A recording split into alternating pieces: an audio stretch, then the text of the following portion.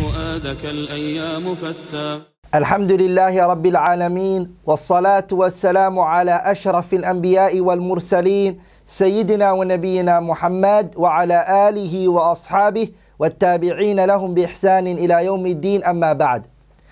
Inshallah ta'ala today we're going to start Lamiyatu لشيخ الإسلام ابن تيمية. Ibn Taymiyyah's Lamiyah is what we're going to start inshallah ta'ala Um, as usual, before we start a book, we always talk about the author of the book. So inshallah ta'ala, we're going, we're going to take Tarjama Mujaza uh, and Shaykh al-Islam ibn Taymiyyah, a very abridged, summarized, um, explained by, uh, about the biography of Shaykh al-Islam ibn Taymiyyah. First of all, his name and his lineage.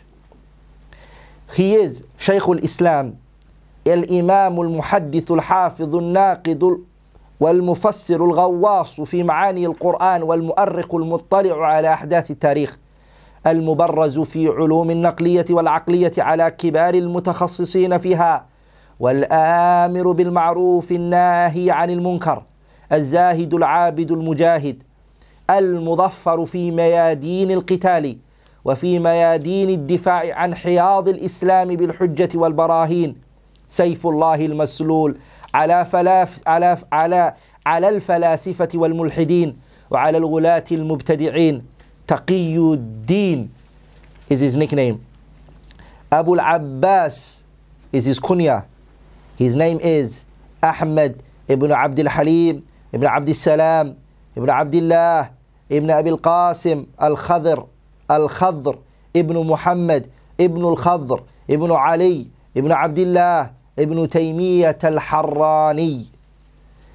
Um, if the word فإذا أطلق لقب if this nickname is said just like that uh, شيخ الإسلام if it's said like that فالمقصود به هو the person it falls to directly is who ابن تيمية رحمه الله طيب الله ثراه وعن as for the issue pertaining to his name Taymiyyah this name Taymiyyah as his great student Abu Abdullah Muhammad ibn Ahmed ibn Abdul Hadi said قيل إن جده محمد بن الخضر حج على درب تيماء فرأى هناك طفلة فلما رجع وجد امرأته قد ولدت له بنتا فقال يا تيمية يا تيمية فلقب بذلك وقال ابن النجار ذكر لنا أن جده أحمد محمدا كانت أمه تسمى تيمية وكانت واعظة فنسب إليها وعرف به The scholars they mention two reasons regarding his name the, the, the name Taymiyyah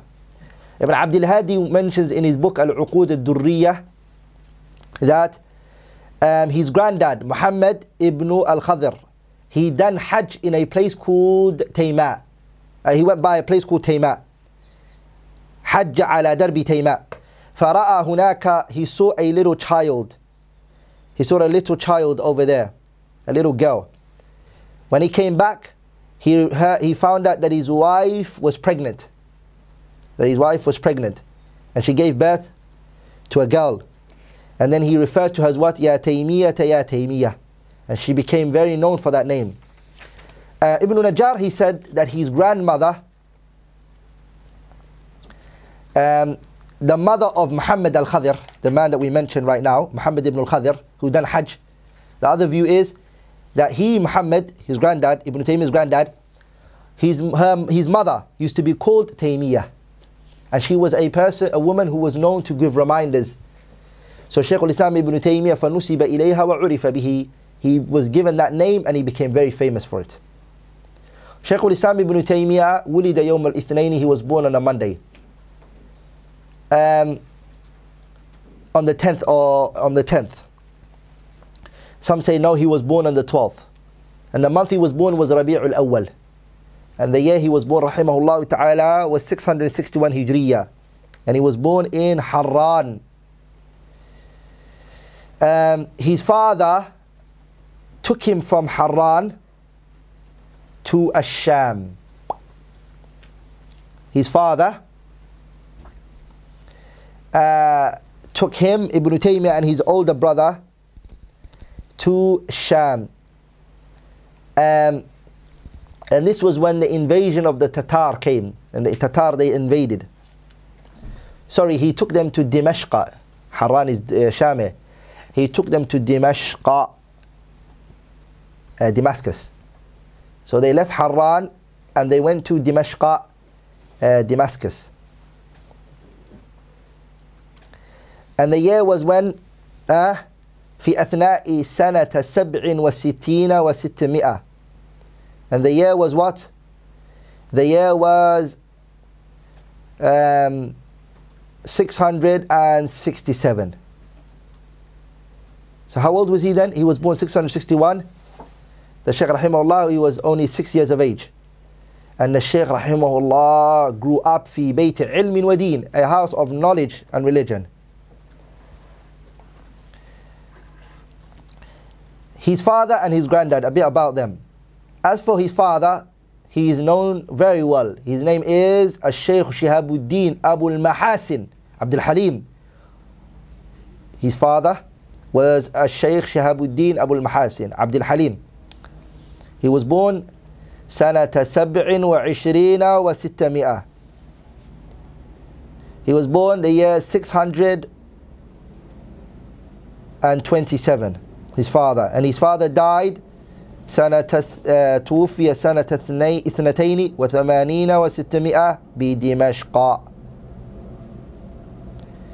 uh, he was he died his father died سنة اثنتين وثمانين 682 and he died in what in Dimashq his father and Imam al-Dhahabi rahimahullah he said about Ibn Taymiyyah قرأ المذهب ابن تيمية he read the مذهب أي يعني المذهب الحنبلي he read the حنبلي مذهب حتى أتقنه على والده until he mastered it on, from his father ودرس وأفتى وصنف وصار شيخ البلد بعد أبيه he mastered it from his father he taught he gave verdicts and he authored and he became the sheikh of his city after his father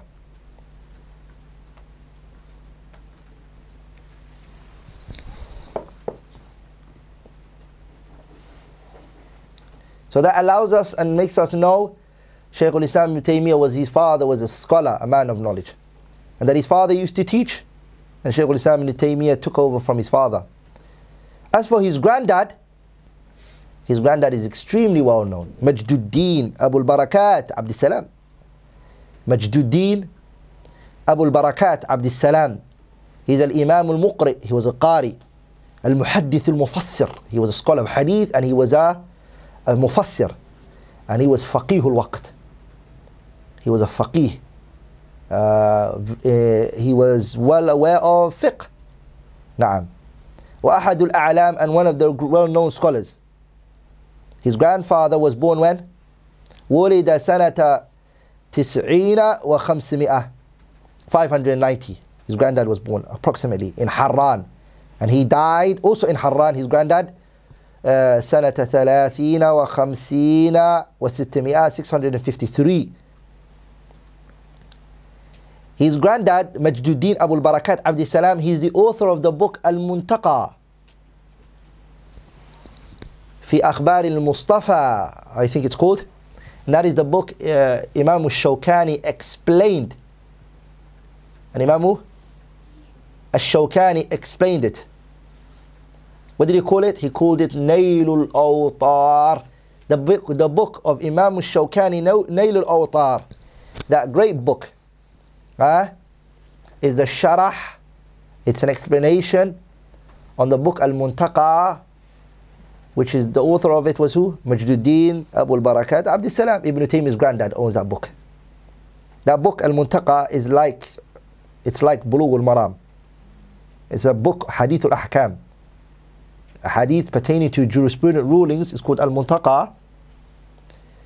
And Al-Imam al-Shawkani, what he did was, he explained it very well. Um,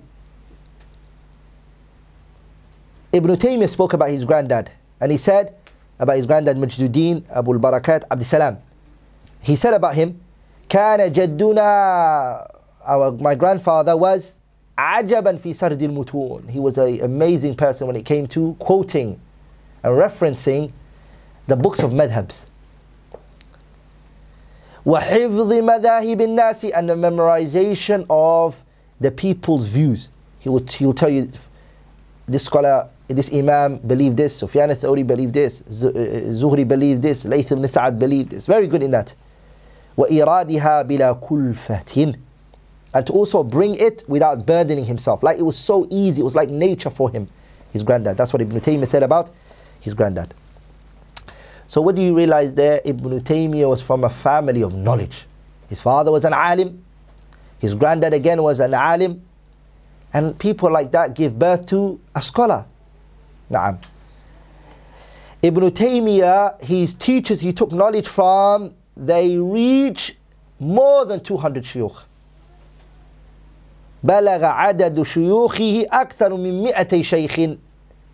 His teachers they pass, they pass 200. They pass it easily.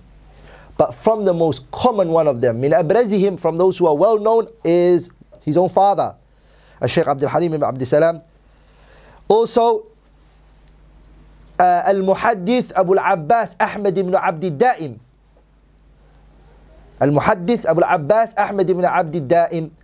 The, the third person is Ibn Abi Yusr. Also, Al-Shaykh Shamsuddin Abdul Rahman Al-Maqdis Al-Hanbali. He took from him.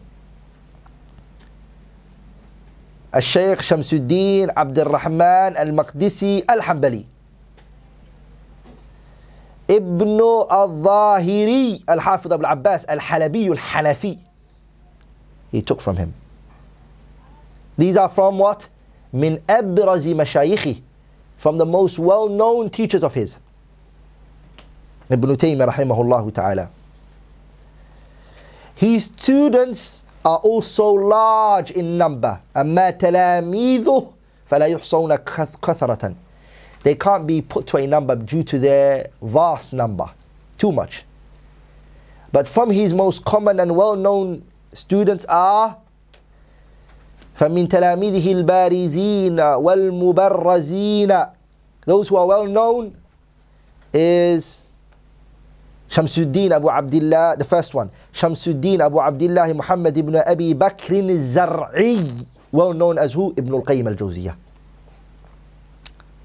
Ibn al-Qayyim al-Jawziyah is one of the students of Shaykh al-Islam Ibn Taymiyyah. Also, um, Al-Hafiz Abu Abdullah Muhammad ibn Ahmad ibn Abdul Hadi. Ibn Abdul Hadi is from who? One of the... Uh, students of Shaykh al-Islam Ibn Taymiyyah. Ibn Abdul Hadi, I have to stop over a bit and speak about him because he's a lot of people don't know of him. Ibn Abdul Hadi authored a book speaking about his teacher, Shaykh al-Islam Ibn Taymiyyah. Um, he called it Al-Uqud al-Durriyah. He called it Al-Uqud al-Uqud al-Durriyah. Um, في مناقب الشيخ الإسلام ابن تيمية Ibn Abdul Hadi, he died at the age of 38. Very young.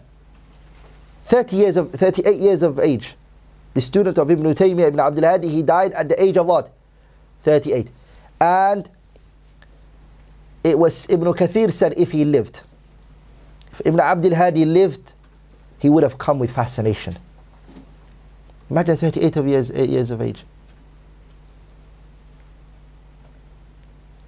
If he lived, he would have come out with what? He would have come out with fascination. Is the Ibn Abdul Hadi is the man that Abu Hajjaj al-Mizzi, who we're going to come to later, he said that I never entered, or, or Ibn Abdul Hadi, sorry, never entered onto me. He never came to me except I benefited from him. Abu Hajjaj al-Mizzi said, Ibn Abdul Hadi never entered onto me, and we sat down and we spoke, except I benefited from him. I what? I benefited from him. He was min talamid Shaykh al-Islam He has another book Wallahi, a student of knowledge who wants to ground himself in the matters of aqaid, in matters of aqidah, and who wants to also ground himself in the practical way of how to authenticate and weaken a hadith if you want to see it practically after you studied books of مصطلح الحديث like البيقونية نخبة الفكر اختصار علوم الحديث ألفية العراقي or ألفية السيوطي whichever you studied and ألفية العراقي when you study it with the فتح المغيث by الإمام السخاوي رحمه الله and you understand it theoretically you've understood it good but the practicality and how it's applied this book written by Ibn Abdul Hadi allows you to see how it is applied which book is it الصارم المصل... الصارم المنكي في الرد على السبكي صارم المنكي في الرد على السبكي that book Ibn Abdul Hadi refuted As-Subki, rahimahullah, in the issue of uh, Shaddur Rihal. The issue of what? Shaddur Rihal, to travel to other than the three masajid. The issue of what? Traveling for other than the three masajid. Masjid al-Haram, Masjid al-Aqsa, Masjid al-Nabawi, are you allowed to travel to a place for to get closer to Allah? In in in uh, ila Allah to get closer to Allah in other than these three masajid? Subki rahimahullah um, Ibn Abdul Hadi replied to him very well. In defense of who? Shaykh al-Islam Taymiyyah because Ibn Taymiyyah was imprisoned because of this fatwa he gave. The issue of what? Shaddur Rihal, and also the issue of uh, At-Talaq thalath the divorce of three. If your woman, a man divorces his wife three times in one word, Ibn Taymiyyah held the view which was what? That is only considered as one. He went against who? The four A'immatul Arba'a. He went against them on this issue. And wala shak, wala raib. Without a doubt, we say, akhta'a Shaykh al-Islam. Ibn Taymiyyah got this matter wrong his view in this issue is what? It's incorrect. And then the strongest view is the al-jumhur, the view of the majority of the scholars. And um, Al-Imam Muhammad al-Amin al-Shanqita rahimahullah in his book Adwa' al-Bayan in the ayah Surah al-Baqarah الطلاق مرتان I advise every student of knowledge who's munsif مرتان in that ayah Surah al-Baqarah Muhammad al-Amin al-Shinqiti rahimahullah in his book Adwa' al-Bayan. It's a kitab which is mati' beneficial book in the tafsir of the Quran which is idahul Quran ibn Quran. It's to explain the Quran with another verse from the Quran. Muhammad al-Amin al-Shanqiti, he refutes the, oppo- the opposite view, or he responds to the opposite view uh, that says that if talaq, huh, if a man says to his wife, I divorce you three, whether it's considered as one, Muhammad al-Amin al-Shanqiti fil mas'ala. He detailed and explained the matter very well. Pages, over six pages. he wrote, rahimahullah, in this issue. Matter. I can say to you, it's one of the best researches that have been done. It's present there. So Shaykh al-Islam Ibn Taymiyyah, in the issue of Shaddur Rihal, Ibn Taymiyyah, he was imprisoned for it. Ibn Abdul Hadi proved that Subki and others have misunderstood what Ibn Taymiyyah was trying to say. That even today you hear people say that Ibn Taymiyyah says that you are not allowed to visit the Prophet's grave. وهذا كذب waftira. That's a lie against Shaykh al-Islam ibn Taymiyyah. Ibn Taymiyyah does not say that you can't visit the grave of who? The Messenger sallallahu alayhi wasallam. But what he says is, shaddur rihal is not what's allowed. Shaddur rihal is what's not allowed. If you're in the Masjid al-Nabawi, you're there to go visit the Prophet's grave, la Rather, it's something that the Salaf and the Sahabas used to do. And they used to go to the Masjid and then they used to go to the Prophet sallallahu alayhi and give him salam To give him salam. But to travel from another country, not to go to the masjid, huh? but you istiqlalan, you directly, intentionally want to go to the Prophet's grave, هذا لا يجوز. And it goes against this hadith of the Prophet ﷺ. Lakin you can visit the Prophet's grave taba'an. After you've visited the masjid, after you've done your ibadah in the rawdah, uh, then you're allowed to. After you intentionally wanted to go to the masjid. Naam. When I say you pray in the Rawdah, I don't mean you have to pray in the Rawdah to see the Prophet, but I mean your intention has to be to visit the masjid. And also the hadith that the people use, these hadith which are mawdu'a, fabricated, they try to spread. Ha? Ibn Abdul Hadi, fassala fil mas'ala. So we have to know the students that Ibn Taymiyyah brought out, rahimahullah ta'ala. From the students of Ibn Taymiyyah is the great, noble Hafiz, Abu al-Hajjaj, Abu al-Hajjaj al-Mizzi Al-Imam al-Mizzi do you guys know al-Mizzi rahimahullah Abu, Abu al-Hajjaj al-Mizzi has a book called um, Tahdhib al-Kamal Abu al-Hajjaj al-Mizzi has a book called what تهذيب الكمال في معرفة الرجال What does that book What does that book mean? What does تهذيب الكمال mean? تهذيب الكمال is a book if you want to know the narrators in the six books of hadith Bukhari, Muslim, Abu Dawood, Tirmidhi, Ibn Majah, and An-Nasa'i, the six books of hadith.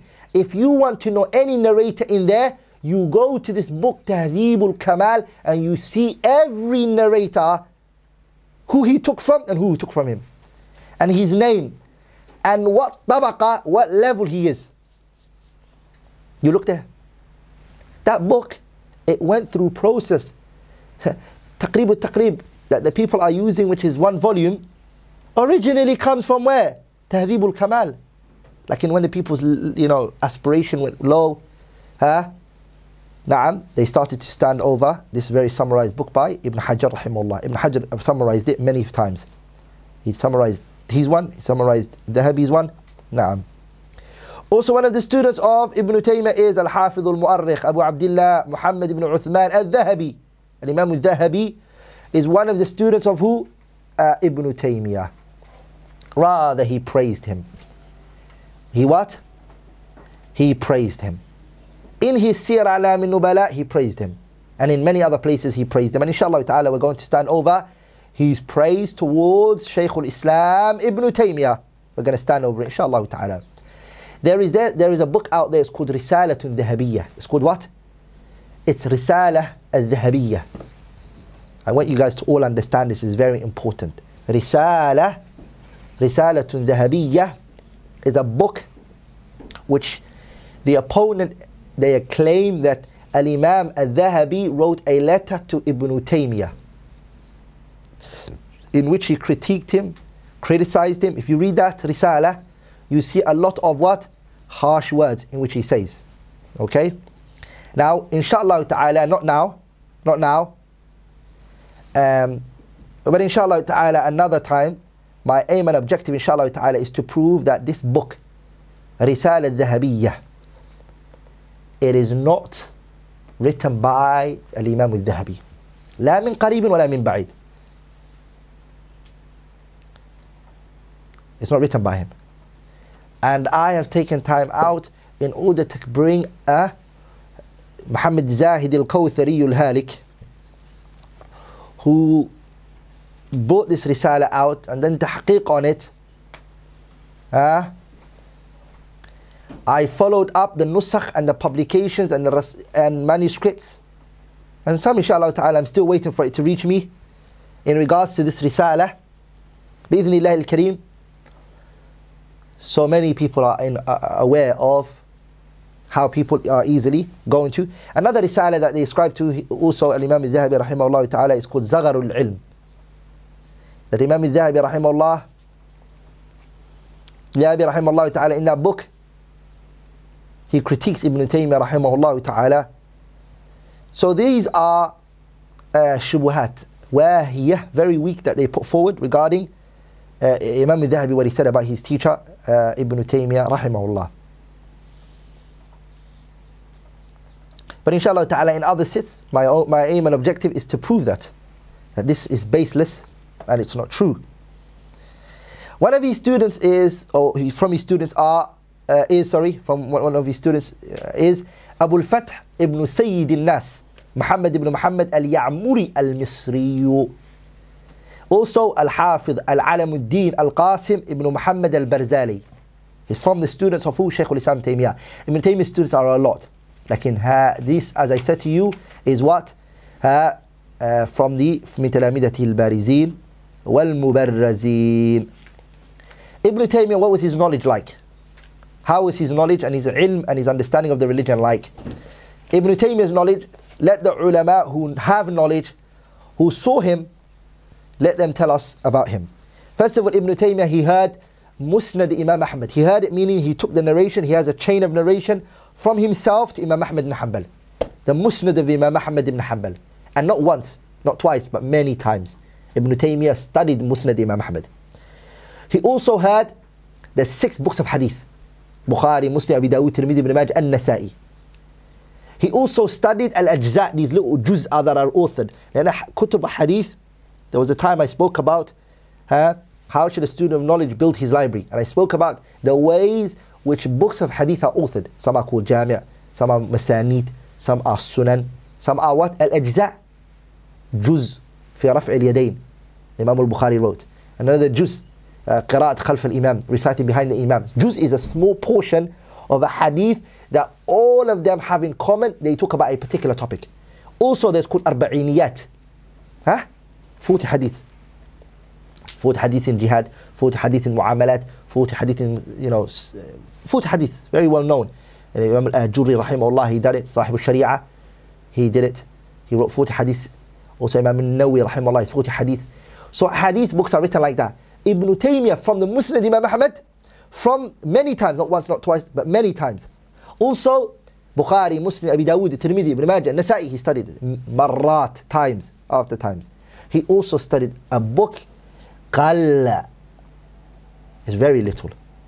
Rather, if I say it's nadir, it's rare, I wouldn't be lying if I said that. He studied, ها رحمه الله, معجم الطبراني الكبير. Imam al-Tabarani has a mu'jam which is three types. We have mu'jam al-kabir, mu'jam al-awsat, and he has mu'jam al-saghir. Ibn Taymiyyah studied the mu'jam al-kabir. Studied it. Rahimahullah ta'ala. So it's from his masmu'at. The books he took, he took narrations from. And we're struggling with what? 40 hadith if we study, we think we studied, we have knowledge. Subhanallah. He's, rahimahullah ta'ala, qara'a, he read. He read excessively. ونسخ وتعلم الخط والحساب في المكتب. He learned how to write. And remember, brothers, the writing that we're talking about is not